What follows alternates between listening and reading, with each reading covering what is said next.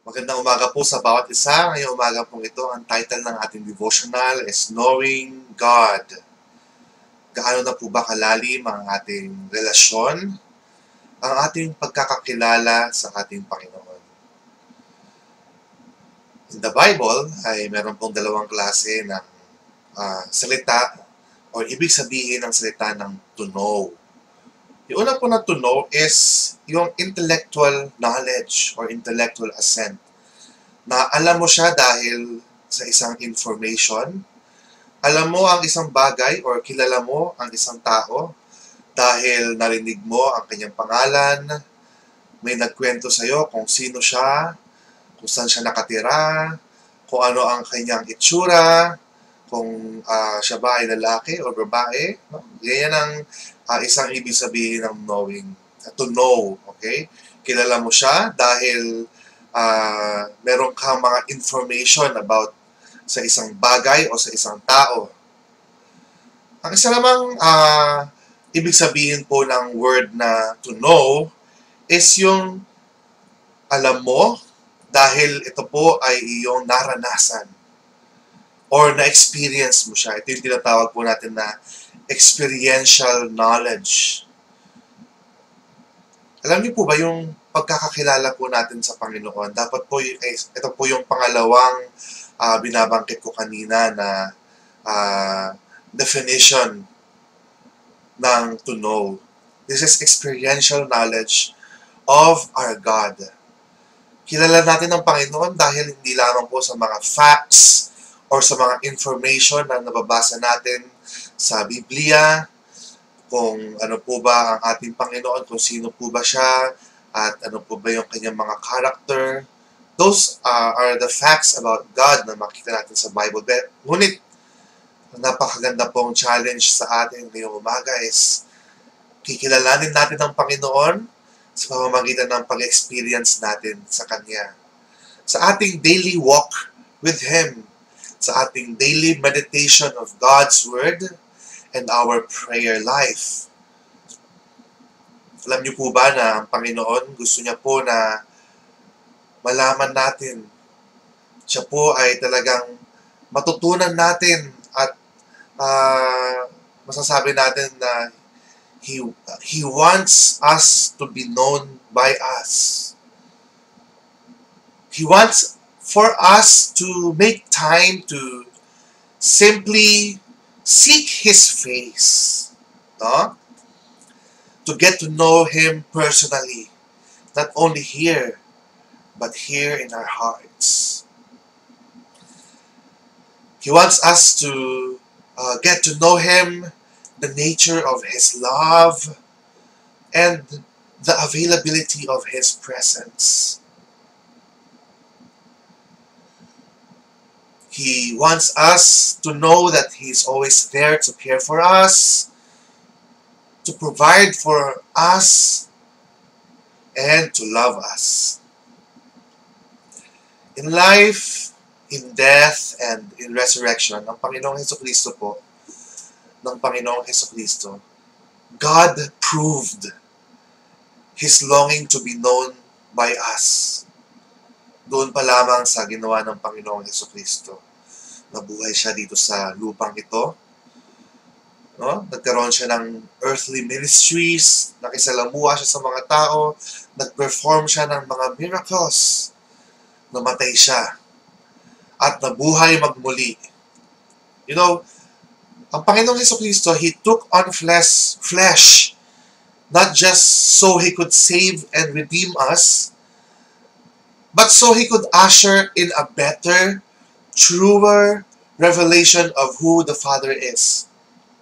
Sinasabi po niya sa John 17.3, Now this is eternal life, that they know you, the only true God and Jesus Christ, whom you have sent.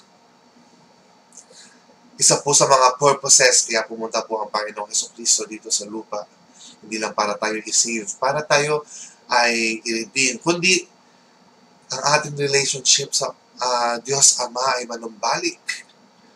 Ang, pagka, ang pagkaka uh, kailanlan natin sa Ama no?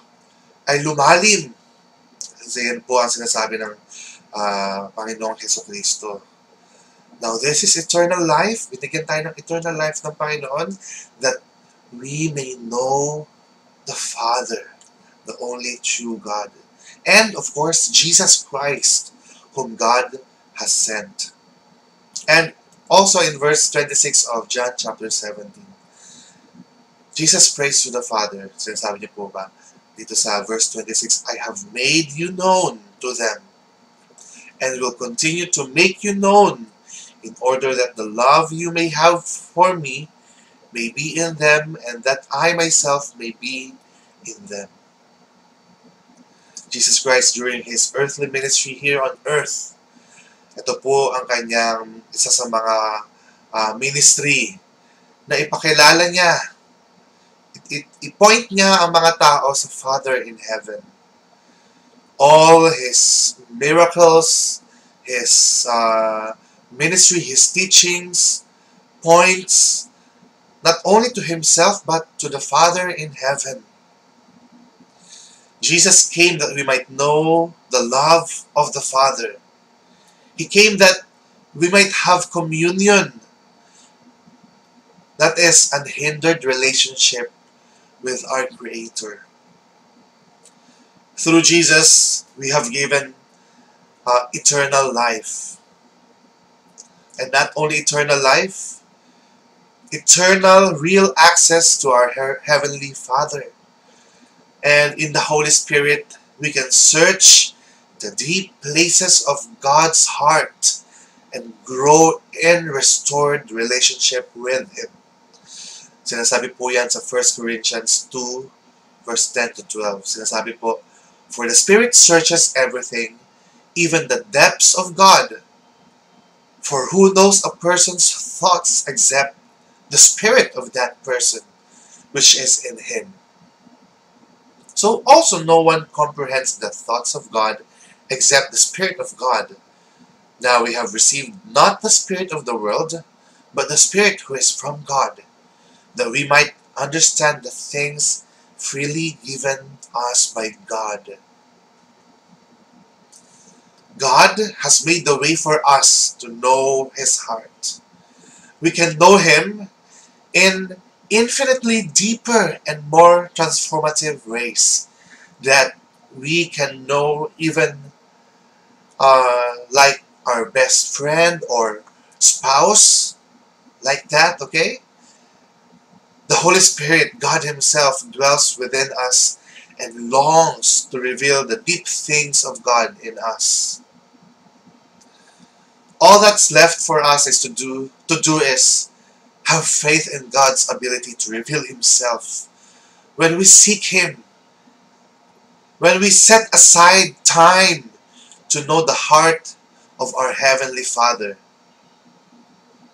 may we make time make time to do exactly that today as we enter into this day this whole day that God has given us. May we continually seek God. May we meditate on God's Word. May we continually pray to God this day. May we have a, a prayer life that is continual.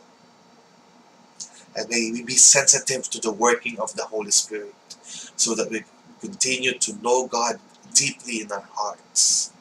Experience Him Let's pray.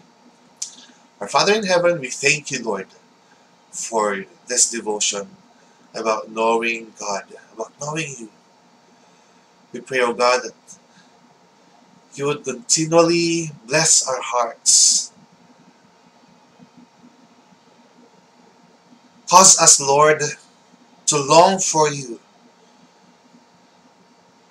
to know you more, O oh God through the meditation of the scriptures, through our prayer life, and through our Christian lifestyle. May we be sensitive always to your working in our in our lives. And I pray, O oh God, that we will grow spiritually, knowing you, loving you, and serving you. This is our prayer in Jesus' name. Amen. God bless us all.